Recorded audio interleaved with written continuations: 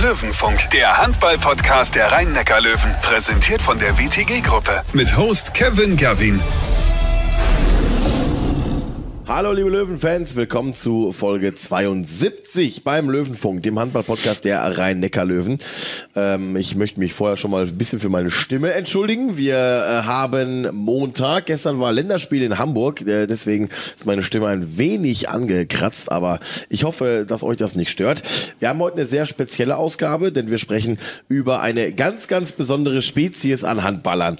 Äh, gibt unzählige Vorurteile über Torhüter wahrscheinlich auch einige Irrtümer. Äh, wollen wir mal ein bisschen mit aufräumen heute, bringen ein bisschen Ordnung in dieses hochkomplexe Thema Torhüter und dazu begrüße ich unseren Torwarttrainer. Hallo Dragan Jakovic. Hallo, servus. Zur Info für euch, ja, es ist Montag, das heißt auch, dass wir am Donnerstag unser Auswärtsspiel in Leipzig haben. Das wird unfassbar wichtig und wir legen jetzt auch direkt los. Löwen aktuell. Dragan, an dieser Stelle sprechen wir traditionell über die sportliche Lage bei den Rhein-Neckar-Löwen. Ähm, wenn wir jetzt auf die Tabelle schauen, könnten wir sagen, es könnte schlechter laufen. Okay, ich muss sagen, dass für viele äh, Handballexperten äh, vor dem Saison die Prognose war siebte oder achte Platz für Löwen. Und jetzt, äh, okay, wie alle kann sein, sehr zufrieden mit. Ja, wir sind momentan Tabellenführer und das nicht nur, ja, man sagt ja immer vorübergehend, weil dann die, die anderen noch weniger Spiele haben. Wir sind tatsächlich rechtmäßiger Tabellenführer momentan, weil ähm, wir auch einfach stark sind. Das ist so mein Eindruck. Wir sind äh, relativ ähm, gefestigt in den Leistungen, die wir bisher gebracht haben. Überrascht es dich denn auch so sehr? Äh, nur ein bisschen, äh, weil ich habe schon gesehen in unserer Vorbereitung, dass hier gibt etwas, äh, mhm. dass wir sind eine gute Mannschaft, äh, gute Trainerstaff auch und äh, mit solchen Zuschauern, was wir haben, das alles ist möglich. Ich bin mir sicher, dass wir das alle gut einzuschätzen wissen, dass keiner da draußen rumläuft von den Fans und sagt, wir werden dieses Jahr Meister oder sonst irgendwie was. Ähm, ist das auch, also ich habe auch den Eindruck, das würde Sebastian Hinz auch nicht zulassen, oder? Dass innerhalb des Teams da so eine, äh, dass man die Bodenhaftung verliert?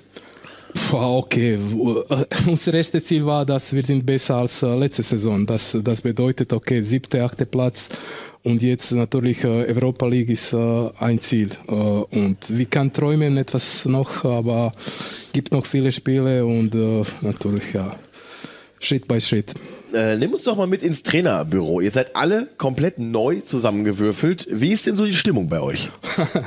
Stimmung ist okay, gut. Äh, nach dem, äh, nach dem Sieg ist immer super Stimmung. Äh, aber das dauert natürlich äh, bis erste Arbeitstag. Dann ist Fokus für Training, Fokus für das nächste Spiel und ja. Ich habe heute viele Fragen an dich. Ich möchte oh. äh, viel, vieles aus dem Trainerteam wissen. okay. Wie läuft denn so ein Tag bei euch ab? Gibt es einen, der immer als erster da ist und dann für alle anderen schon mal Kaffee kocht oder so? Äh, nein, aber ich muss sagen, dass bei Flo ist so, dass immer er macht äh, sein Frühstück im Büro und äh, für Sebastian oder für mich, das ist nicht in Ordnung. Ach so, ist das nicht erlaubt? Ja, äh, aber gibt noch äh, dieses Thema äh, Humor von äh, Michael äh, mhm. Jakobsen. Ja, eins ja, nach ja. aber sonst, ja, ich habe auch viel Spaß im Büro.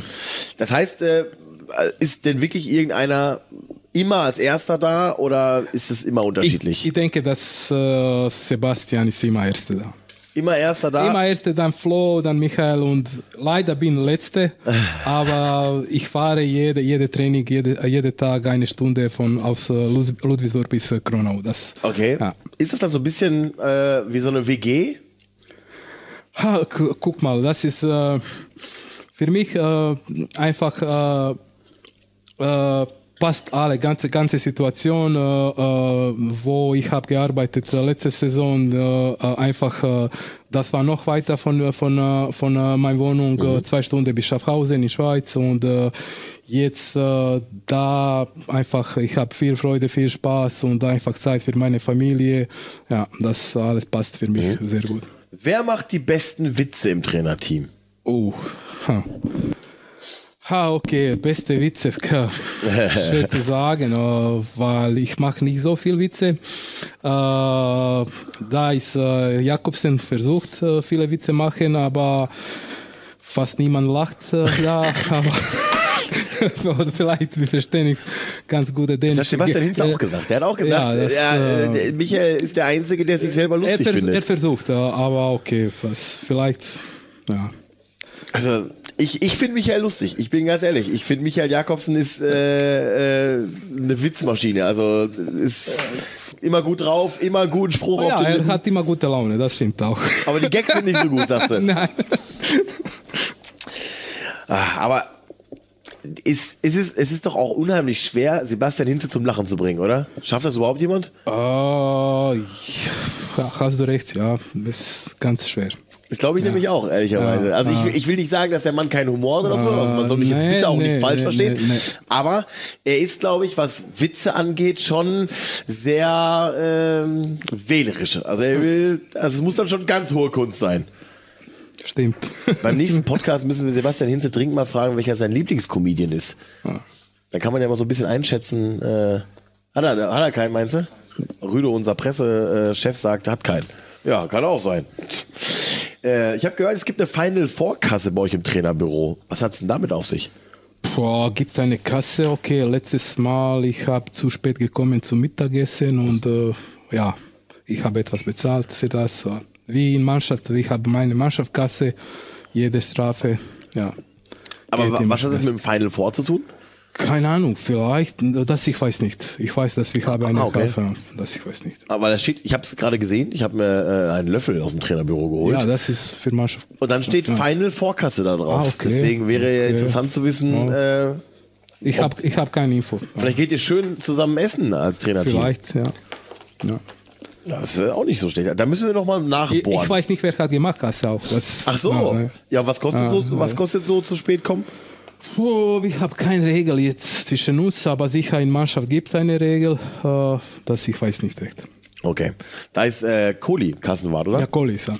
Reden wir ganz schnell über das Ligaspiel am Donnerstag. Ähm, würdest du mir recht geben, wenn ich sage, einen schlechteren Zeitpunkt, um gegen Leipzig zu spielen, gäbe es nicht?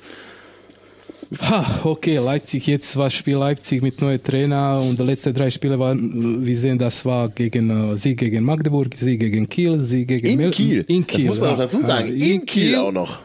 Dann in Melsungen auch, war ja. auch und zu Hause gegen Magdeburg. Ja. Ähm, zehn Spiele, acht, acht, achtmal war Sieg, oder?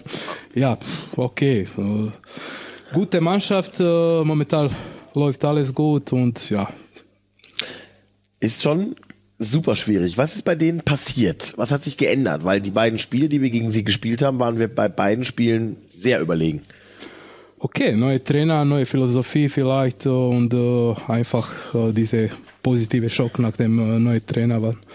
Das schwer zu sagen, ja. Mhm. Jetzt einfach jetzt kommt diese Vorbereitung äh, morgen. Wir machen diese Vorbereitung mhm. für Leipzig. War jetzt war Nationalmannschaftspause und einfach äh, wir haben morgen diese Vorbereitung für Leipzig und dann wir können schauen, mhm. was ist Unterschied. Was erwartest du persönlich für ein Spiel? Ich warte, ich warte wie immer. Uh, unsere Tempospiel, uh, uh, Tempospiel, schneller Rückzug, gute Abwehr, gute Torwartleistung, konstant bleiben, 60 Minuten und ja. Ich hatte das Gefühl, dass Göppingen jetzt äh, so mit als erstes Team das so ein bisschen geknackt hat, äh, dieses, dieses Tempospiel und es sehr, sehr gut unterbunden hat. Ähm, macht ihr euch ein bisschen Sorgen, dass sich das andere Teams abgeguckt haben könnten? Okay, natürlich, dass jetzt äh, langsam äh, alle wissen, was wir spielen, wie wir spielen, aber gibt auch äh, gibt etwas anderes, wo kann wir etwas verbessern in unserem Spiel auch und äh, ja, da wir vorbereiten uns auch äh, für, für das auch. Mhm. Dann hoffen wir sehr, dass wir äh, gut aus der Länderspielpause kommen. Ähm, apropos Länderspiele, hast du dir was angeguckt? Kroatien zum Beispiel? Äh, Kroatien auch, ja. Äh, gegen Holland nicht ganz gut. Äh, ein Punkt in zwei Spiele, aber auch ich habe geschaut Deutschland U21 wegen David Spät auch, äh, auch A-Nationalmannschaft äh, wegen Joel und wegen unserer Spieler. Ja. Von Joel hast du nicht so viel gesehen. Das erste Spiel leider weniger hat gespielt für mich ganz in Ordnung und zweites Spiel leider nichts gespielt. Aber, also Im zweiten Spiel hat er gar nicht gespielt. Nicht, ähm, ich persönlich äh, habe ehrlicherweise gedacht, okay, bloß keiner von den Löwen verletzt. Ja, das, das ist ja, das ist, weil es am Ende ist es ein Freundschaftsspiel. Ja. Und es war äh, relativ interessant zu sehen nach zwei Minuten in diesem Spiel Deutschland gegen Dänemark äh, rasselten Paul Drucks und Matthias Gitzel ineinander, wo ich mir dann nur kurz dachte, jetzt stellt euch mal nur ganz kurz vor, da verletzt sich ausgerechnet Gitzel gegen den eigenen Mannschaftskameraden. Ja.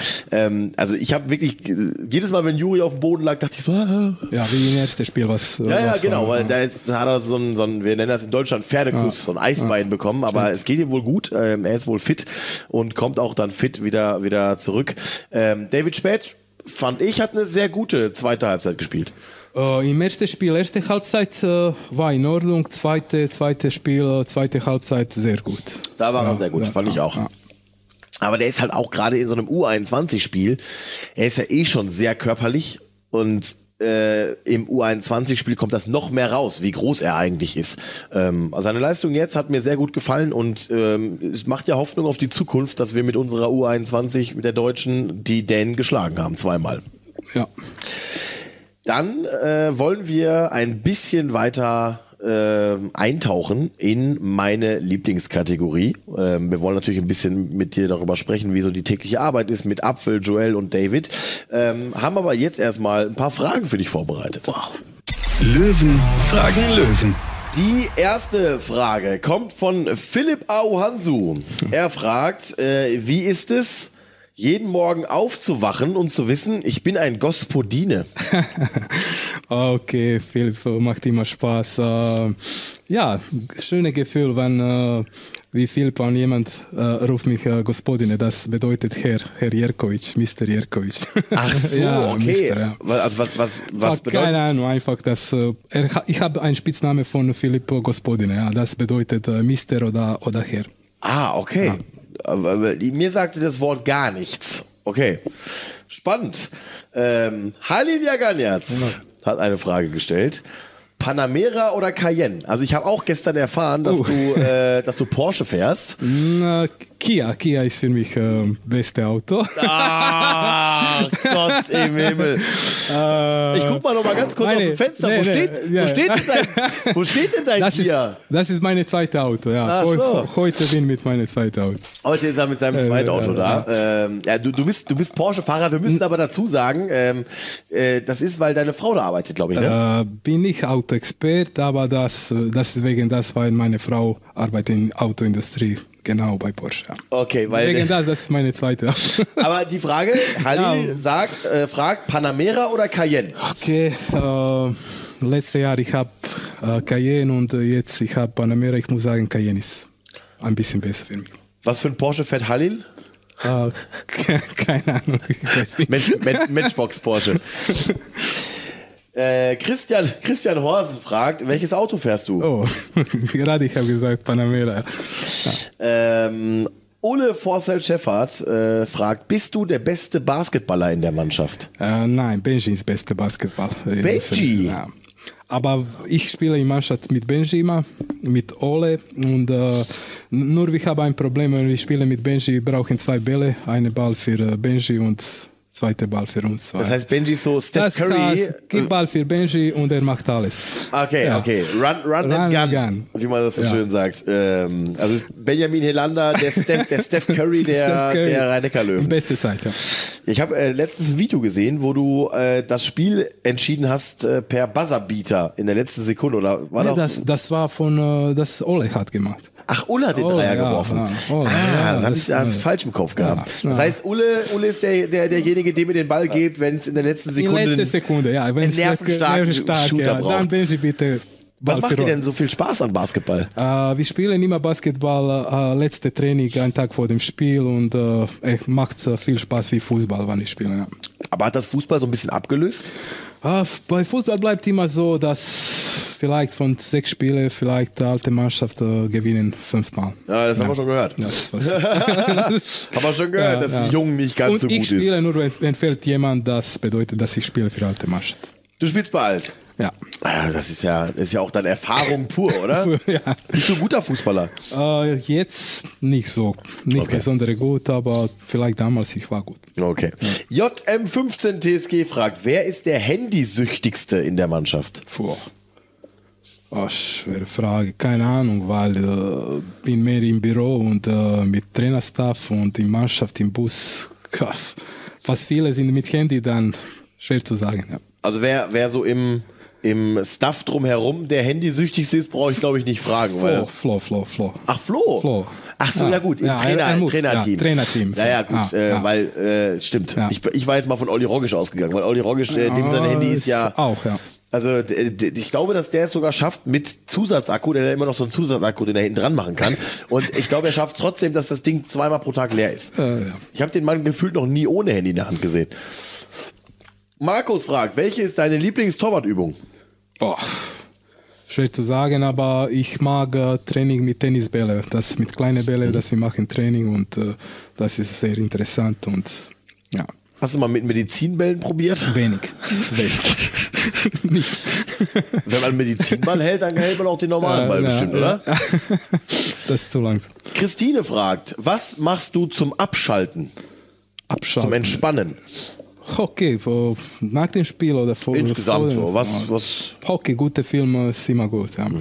Gute Film, Musik oder mein Hobby ist Schach. Ich spiele Schach. Ach. Ja. das ist ja geil. Konnte ich früher auch, in der sechsten, siebten Klasse, aber irgendwie seitdem habe ich nicht mehr gespielt. Ah, Hast du hier jemanden, mit dem du spielen kannst? Äh, ja, mit äh, Albin und mit Kickerlocke, aber sie sind noch zweite Liga für mich. Also noch, noch keinen Schachmeister, Nee, nee. in keinem Schachmeister deinen Meister gefunden. Was ist dein Lieblingsfilm? Ha. Hm, Gladiator. Oh, geiler Film. Ja. Äh, das, aber ganz, hast du mal Russell Crowe gesehen zuletzt? Äh, letzte Zeit, ja. Bilder gesehen? ja. Alter! Ja. Ja. Also ich meine, ich bin ja auch schon, ich bin ja derbe so ein, so ein Jojo-Effekt-Typ, also mal, mal, mal viel Gewicht, mal wenig Gewicht, aber Russell Crowe wiegt ja 120 Kilo mittlerweile. Da ist nicht mehr viel übrig von, von damals. Jetzt kommt eine andere Filmrolle für ihn. Aber es ist ein sehr emotionaler Film. Was gefällt dir an dem Film am besten? Oh, das äh, alles fast, äh, das ist echt, äh, ja. Guckst du viele Serien und Filme auch im Bus? Serie, Serie nicht, aber auch im Bus ich spiele Schach. Ja? Ja, nur Schach. Aber dann gegen den Computer? Das, dass ich spiele gegen Com Computer oder online gegen jemanden. Oh, das ist ja mega spannend. Äh, Julian, null, oder also Juli 2N09 fragt, äh, besser Mannheim oder Schaffhausen? Mannheim. Mannheim. Musst du ja jetzt auch Ja, sagen. ich muss das. Ja, also, Ja. wenn wir kurz, also wir können ja ehrlich sein. Ja. Also von der Gegend her ist Schaffhausen schon schöner. Guck, Sportkultur in Deutschland ist etwas anderes als in Schweiz. Das ist auch. äh, Ich meine, so die Gegend, so, also, okay. um da zu leben, ist ja Schaffhausen schön. Aber ich lebe nicht in Mannheim auch. Ich, Das stimmt. ich, ich wohne in Ludwigsburg und ja, ich kann wenig sagen über Mannheim auch jetzt. Ludwigsburg ist eine äh, sehr schöne Stadt. Ja. Das äh, können wir auf jeden Fall mal festhalten. Die Barockstadt. Ja. Barockstadt Ludwigsburg. Ähm, wie immer, eine richtig coole Fragerunde. Vielen Dank an euch. Ähm, danke an alle Fragesteller. Und jetzt geht's weiter mit der dritten Kategorie. Löwen privat.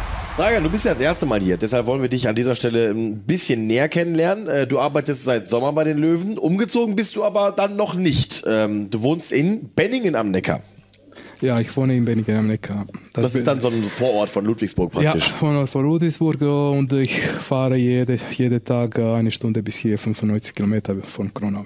Aber ist das nicht voll nervig, jeden Tag so lange Auto zu fahren? Nee, einfach äh, bis jetzt, ich habe nur ein paar Mal Stau, ich war ein paar Mal in Stau, aber jetzt einfach äh, Stunde für mich ganz in Ordnung. Und dann hörst du jedes Mal unseren Podcast.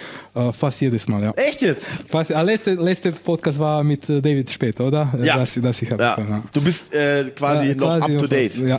ja.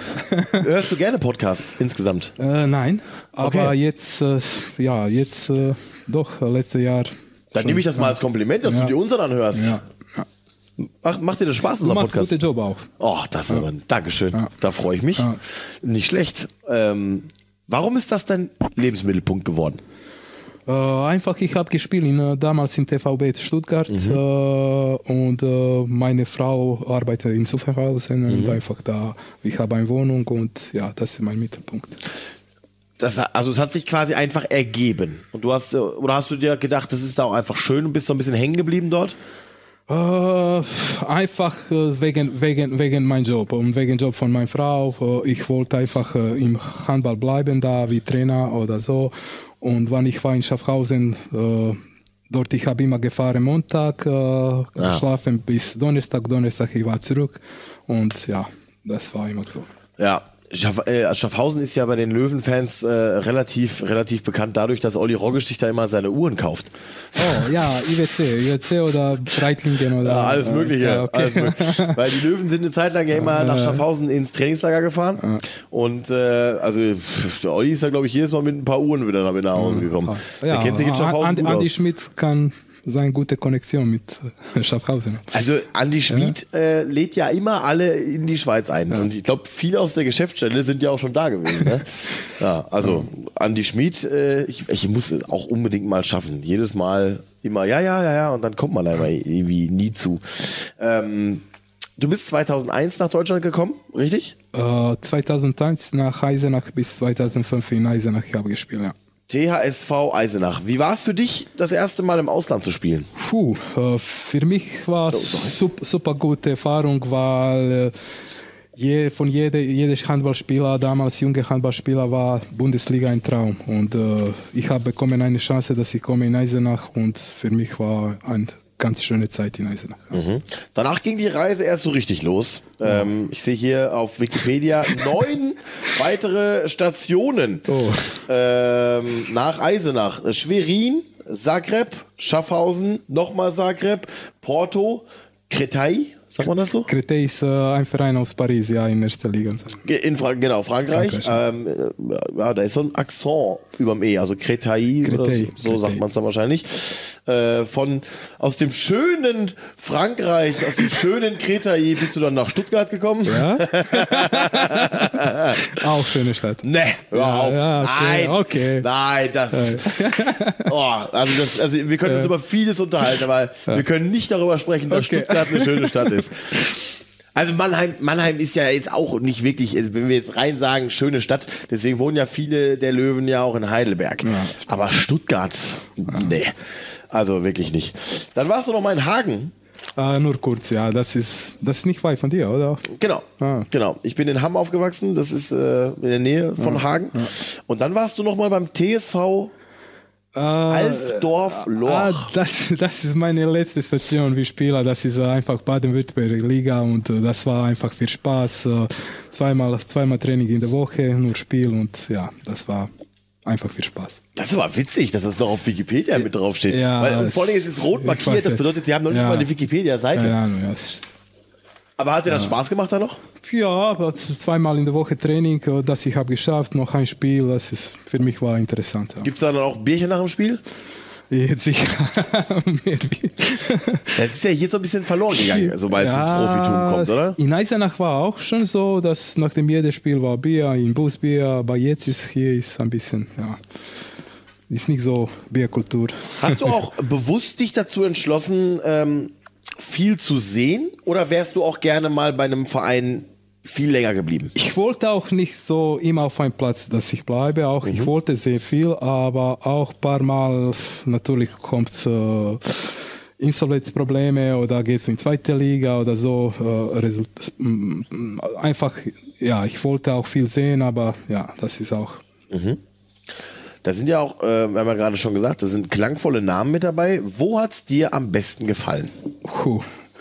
Okay, Handball, beste Handball ist in Deutschland, in der ersten Bundesliga, das ist sicher. Aber vielleicht beste Leben, ich habe diese eineinhalb Jahre in Porto, in Portugal. Oh ja, das glaube ich. Das, das war echt eine schöne Zeit für mich. Äh, Handball war auch interessant, so nur ein Spiel Benfica, Sporting, Porto zwischen und das ist sehr interessant. Äh, aber sonst Leben war echt sehr schön. Ja, die Entwicklung des portugiesischen Handballs haben wir letztes Auch. Jahr in der Qualifikation zur European League relativ deutlich äh, gezeigt bekommen. Ja, Benfica gegen Magdeburg äh, in EHF-Pokal. Ja. Ja, und vor allen Dingen, uns haben sie in der Quali, in der Quali rausgekickt, dann haben sie uns alle so ein bisschen belächelt. Wie kann man jetzt gegen Benfica Lissabon rausfliegen? und dann haben wir nachher lachen können, weil die die European League dann einfach gewonnen haben. Und die waren ja auch sehr stark, muss man ja auch sagen. Ähm, du bist dann damals von Kretai äh, wieder zurück in die Bundesliga gewechselt. Du warst da ja schon äh, 38 Jahre alt. Hattest du da schon die Karriere nach der Karriere im Blick? Okay, ich wollte immer im Sport bleiben und äh, ja, ich habe bekommen eine Möglichkeit, dass ich arbeite in der Schweiz, in, äh, bei Kadetten Schaffhausen. Damals, ich habe dort auch gespielt, 2007 und äh, das ist super für mich, dass ich nach der so langen Karriere, dass ich kann weiter im Sport bleiben. Mhm.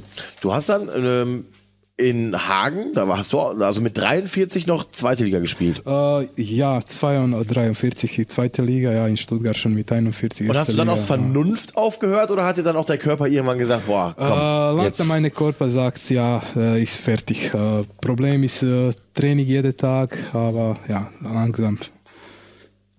Das ist, ähm, als, als Torhüter kann man ja theoretisch, ich habe ich hab gestern in Hamburg nach dem Länderspiel äh, Yogi Bitter aus der Nationalmannschaft verabschiedet mit 41. Und er hat halt klargestellt mit dem Mikro in der Hand, ja, ja, Moment, Moment, also ist ja schön und gut so, ne, aber äh, ich beende ja nicht meine Karriere. Ich, äh, ich spiele halt einfach nur nicht mehr Nationalmannschaft.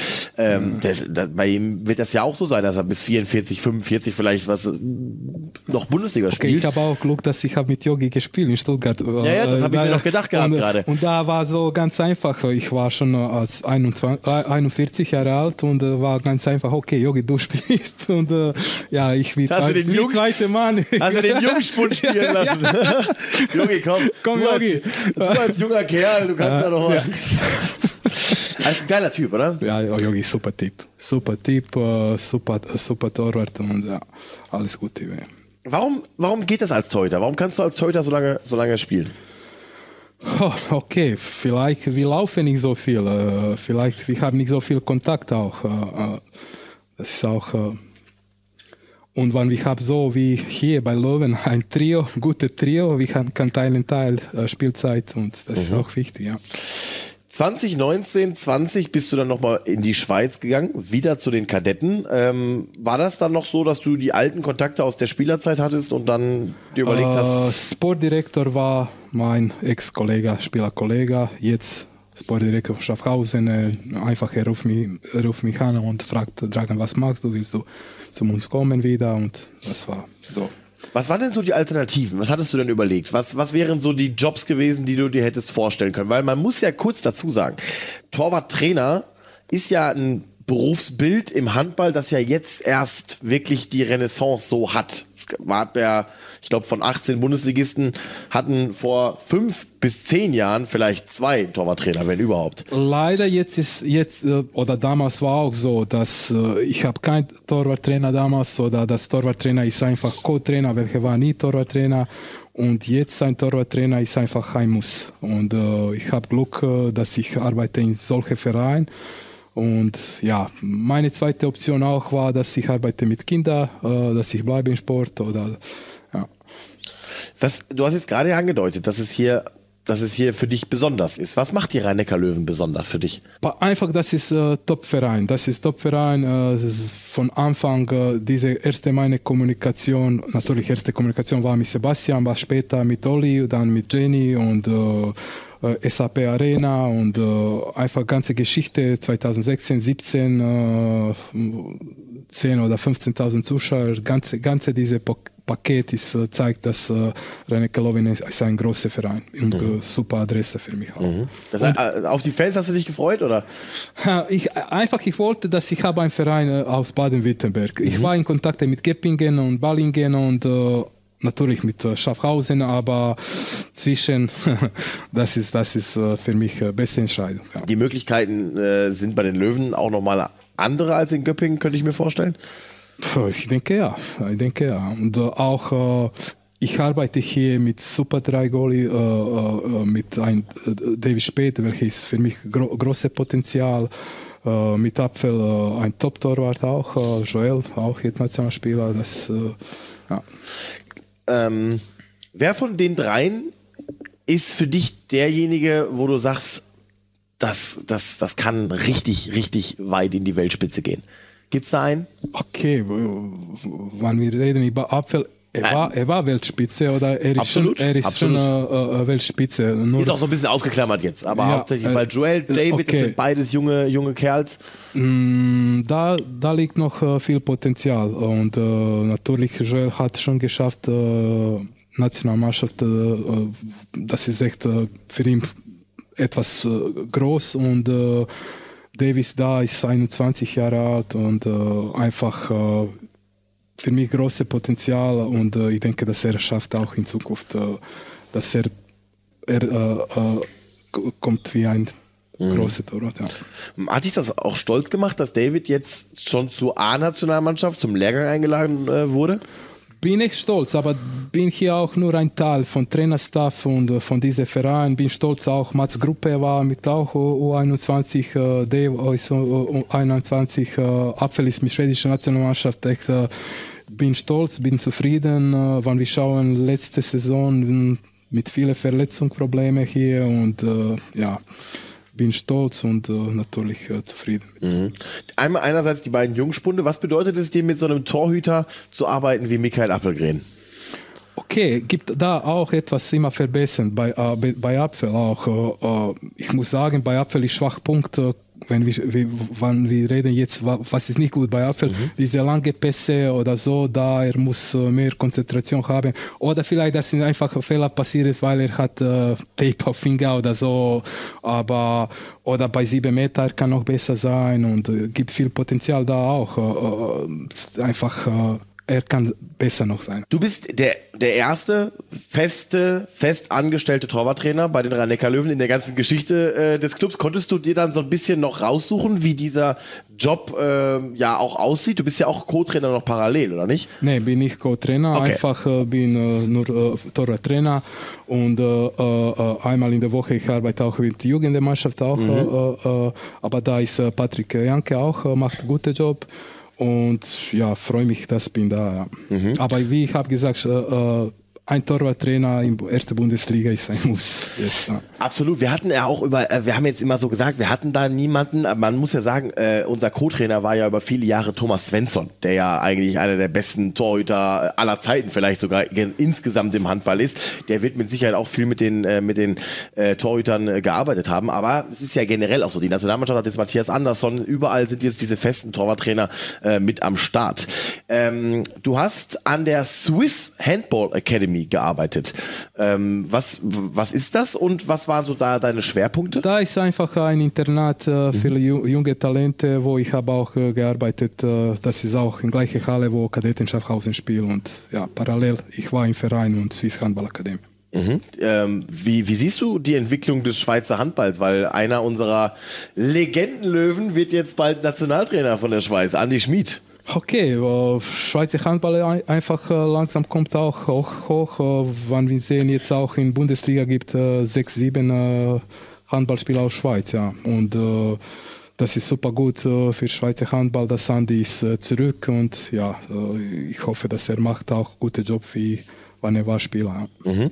Ich habe gehört, dass unser Mannschaftsbetreuer, bester Mannschaftsbetreuer der Welt übrigens, äh, Stefan Horsfeld, auch hier und da mal im Training unterstützt mit seinem großen Talent als Tennisspieler. Okay, ich, äh, ich, ich muss sagen, bin schlechter Tennisspieler und Ah, äh, wenn okay. ich brauche Hilfe mit Tennisbälle, äh, dann ich, äh, nutze ich Hilfe von Stefan. Danke nochmal, Stefan. Ja. wie, wie stolz seid ihr insgesamt im Trainerteam auf das, was die Mannschaft bisher schon geleistet hat? Okay, wir sind sehr stolz und äh, wir wissen, dass wir machen einen guten Job und äh, ja, das äh, einfach bis jetzt läuft alles gut und ja, das, wir sind sehr zufrieden. ja. Letzte Frage. Am Ende der Saison stehen die Rhein-Neckar-Löwen auf Tabellenplatz? Ach, natürlich, ich träume erster Platz und äh, das- das, ist, äh, aber was jeder, jeder Europa, äh, Europaplatz ist äh, für uns super gut, ja. Das, Wir sind sehr gespannt. Wir freuen uns jetzt erstmal auf das Auswärtsspiel in äh, Leipzig, was wir alle verfolgen werden. Dann Hamburg. Dann Hamburg, ganz wichtiger Hinweis für euch. Ähm, wir haben schon sehr, sehr viele Tickets verkauft für dieses Spiel, aber es sind natürlich noch nicht alle weg. Das bedeutet, Ihr könnt auf jeden Fall noch mit dabei sein bei diesem Kracher, weil wir haben mit Hamburg schon noch eine Rechnung offen Ja, aus dem Hinspiel. Das, das war erste Niederlage oder zweite schon. Ja, es war auf jeden Fall die unnötigste. Ja, nötigst, Äh, ja, es war auf jeden Fall die, die natürlich so Ja. nicht eingeplant war. Ähm, Hamburg ist, äh, also generell ist Hamburg ja für die Löwen ein schwieriges Pflaster. Nicht nur HSV, sondern auch Final Four über Jahre. Okay. Wir sind ganz froh, dass es jetzt in Köln ist. Ähm, aber das, also in den, ich glaube, wenn die nächsten vier Spiele, die sind, glaube ich, unheimlich wichtig. Siehst du auch so? Boah, jedes Spiel ist wichtig für uns. Und Eh klar. Das ist auch, ja. Jetzt, jetzt, ich weiß, dass wir spielen gegen Leipzig, dann Hamburg kommt und ja, ich sehe nicht so viel. Äh, das ist einfach zu früh, dass wir denken über. Ja, das, das ist definitiv so. Vielen Dank, dass du bei uns warst. Es Okay, hat mir sehr, sehr viel Spaß vielen, gemacht. Vielen Dank, danke. Und dann für euch natürlich, ihr könnt diesen Podcast überall abonnieren, auf diesen ganzen Portalen, wo dieser Podcast ausgestrahlt wird. Und dann schaltet gerne beim nächsten Mal wieder ein. Wir freuen uns sehr auf euch. Das war Löwenfunk, eine gemeinsame Produktion der Rhein-Neckar-Löwen und RPR1. Präsentiert von der WTG-Gruppe. Neue Folgen erscheinen alle zwei Wochen, überall wo es Podcasts gibt. Bis zum nächsten Mal.